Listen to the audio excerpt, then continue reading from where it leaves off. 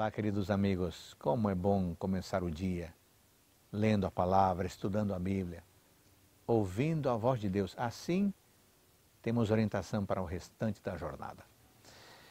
A palavra de Deus é sabedoria. Uma palavra sem sabedoria é de pouco valor.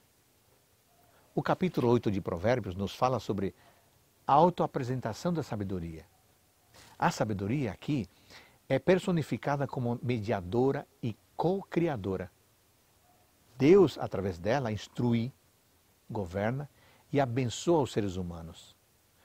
O capítulo termina com um comando repetido para atender diligentemente à voz de Deus em Sua palavra. Mais uma vez, a sabedoria é, é apresentada alegoricamente como uma mulher que se dirige a todos. O que, que isto significa? A vontade revelada de Deus é apresentada a nós como fácil de conhecer e entender, para que ninguém seja justificado por sua ignorância, descuido ou descrença.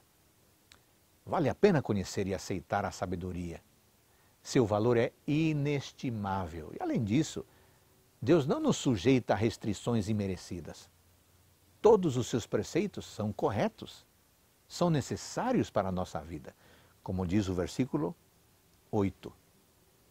Os versículos 12 até o 21 apresentam Cristo como a verdadeira sabedoria. E nesse contexto, o temor do Senhor, que é a sabedoria anteriormente recomendada, nos ensina a repudiar todo o pecado, pois é desagradável a Deus e destruidor da vida. Além do mais, amar a Deus também significa guardar seus mandamentos e odiar o pecado. Agora, uma pergunta importante. A sabedoria é criação de Deus ou precede todas as obras do mundo? Os versículos 22 e 23 esclarecem a resposta. Nada foi criado sem a plenitude da sabedoria. A expressão repetida nos versículos 24 e 25 deste capítulo, fui gerado, não pretende sugerir que a sabedoria personificada, Jesus Cristo, foi criada em um ponto de história. Claro que não. Por exemplo, quando lemos Salmos capítulo 2, versículos 6 e 7, vemos que o termo gerar está relacionado com a nomeação de um rei. Assim, esta palavra também pode ser traduzida como entronizado, designando alguma pessoa que foi constituída. Bom, Deus criou tudo com o poder de Sua palavra, se buscarmos a sabedoria, se aceitarmos eh, a sabedoria em nosso coração, ela pode produzir em nós a vontade de seguir a Deus e permanecer em Deus. Então, qual é a recompensa da busca dirigente da sabedoria? Os versículos 34 e 35 respondem: Bem-aventurado o homem que dá ouvidos, porque quem me encontra achará a vida e obterá o louvor de Jeová.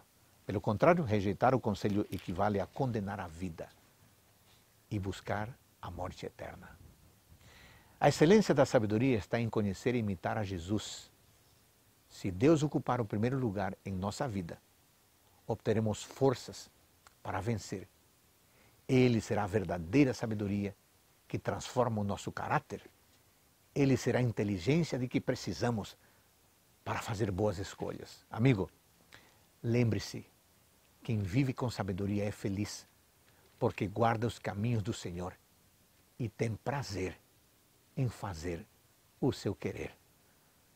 Ótimo dia para todos nós.